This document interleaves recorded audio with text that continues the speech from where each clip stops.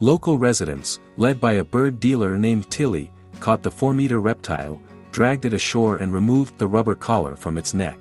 The crocodile was then released back into the river. As the Guardian notes, attempts to help the crocodile have been made before, but none of them has been successful. People produce a huge amount of garbage. A significant proportion of it is improperly disposed of and penetrates into natural ecosystems, where it causes serious harm to wild animals.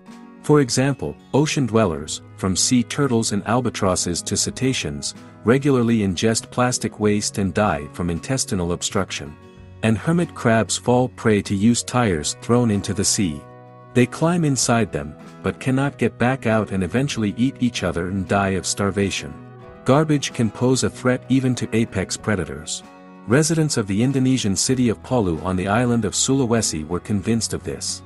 In 2016, they spotted a combed crocodile, Crocodylus porosus, about 4 meters long in the river flowing through the city, which was damaged by a discarded tire, in this case it was a motorcycle tire. The reptile somehow put it around his neck and couldn't take it off. It is possible that the tire was part of a poaching trap. Many feared that as the crocodile grew, the rubber collar would eventually suffocate it. However, all attempts to free the reptile, which were made over the course of six years, ended in vain. Even a professional crocodile catcher from Australia could not cope with the task. In an attempt to draw more attention to the problem, the city government promised in early 2020 to reward anyone who could help the crocodile. But the idea was soon abandoned, since ill-conceived interference could do more harm to the giant than good. Last Monday, the story of the Palu crocodile finally came to an end. His savior was a bird dealer named Tili, like many other Indonesians, he uses one name. The man tried for three weeks to lure the reptile with live chickens and ducks and lasso. Twice the ropes broke, and only the nylon tow rope was strong enough to hold the stubborn crocodile. The situation was complicated by the presence of about 30 of his relatives in the same river.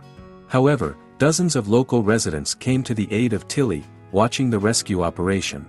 Together they pulled the crocodile ashore, cut the tire that was in the way with a saw and removed it. After that, the reptile was released back into the water. Tili claims that he acted out of selfless motives, he simply felt sorry for the crocodile. Nevertheless, the authorities intend to thank him. According to Hasmuni Hasmar, head of the local conservation agency, the man will receive a reward for saving the reptile. Last fall, we reported on how Peruvian police rescued a pigeon with a drone. The bird got tangled in a rope with its paws and hung upside down on a cable stretched over a city street. Police officers tied a knife to the drone, lifted it into the air and cut the rope. The freed dove was able to fly away and was soon caught by local residents to remove the remnants of the fetters from its paws. Thanks for watching, if you liked the video, please leave a like.